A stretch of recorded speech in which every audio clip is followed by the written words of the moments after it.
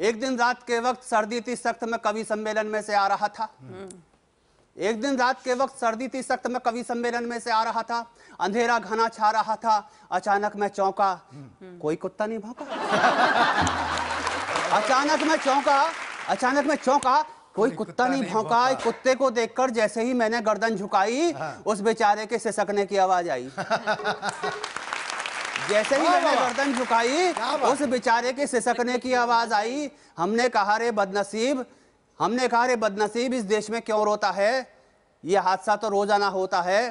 तो मेरी बात को सुनकर अपने सर को धुनकर मूक भाषा में जो कुत्ते ने व्यथा सुनाई हाँ। वही व्यथा आपको सुनाता हूँ भाई। जी तो माय डियर कुत्ते का कथन था माई डियर आप कथन सही कह रहा हूँ? माय डियर कुत्ते का कथन था कि आजकल लोग हमारे चरित्र को तोड़ मरोड़ रहे हैं हमारा नाम इन नेताओं के साथ जोड़ रहे हैं। क्या बात है आजकल लोग हमारे चरित्र को तोड़ मरोड़ रहे हैं हमारा नाम इन नेताओं के साथ जोड़ रहे हैं पर अब तो ये नेता भी हमसे घबरा रहे हैं क्योंकि हम लोकसभा में एक विधेयक ला रहे हैं।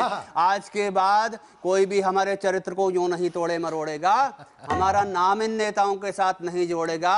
अरे हम तो जिसका खाते हैं उसी के हो जाते हैं। हाँ, बढ़िया भाई। वाह बहुत सुंदर। पंक्तियाँ सुनिएगा मित्रों। हम तो जिसका खाते हैं उसी के हो जाते हैं। इसीलिए तो स्वामी भक्त कहलाते हैं हम में और इन नेताओं में यही तो है भेद। ये जिस थाली में खाते हैं उसी में करते हैं हैं। है